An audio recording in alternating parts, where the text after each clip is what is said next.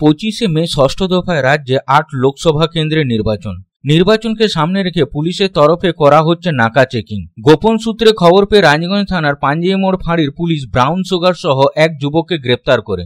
বুধবার রাত্রে উনিশ নম্বর জাতীয় সড়কে পাঞ্জিয়ে মোড়ে পুলিশের তরফে নাকা চেকিং করা হয়। নাকা চেকিং এর সময় স্কুটিতে চড়ে ওই যুবক আসছিল।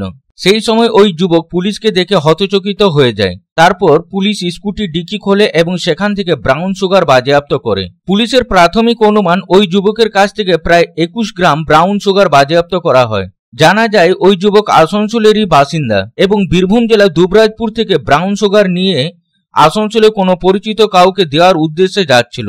বৃহস্পতিবার ওই যুবককে শারীরিক পরীক্ষার পর আসানসোল জেলা আদালতে তোলা হয়। পুলিশ সমস্ত ঘটনা তদন্ত শুরু করেছে।